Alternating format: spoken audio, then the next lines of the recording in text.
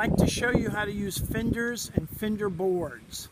On this boat docked in Fort Pierce, Florida, you can see he's side tied to a fixed dock with a piling. Now if you hold your fenders or your barrel fenders or your cylinders vertical like that, they won't do much good against the dock, especially with the tide rising and falling. So you can actually put two cylinders or barrel fenders in the vertical position and then tie a piece of wood, 2 by 4 or 2 by 6 That way it gives you more wear against the piling.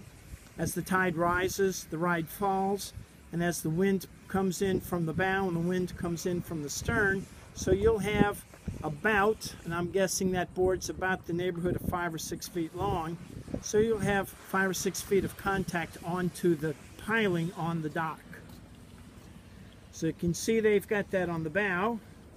And then looking over here midship, you can see he's got the same setup midship against the piling again.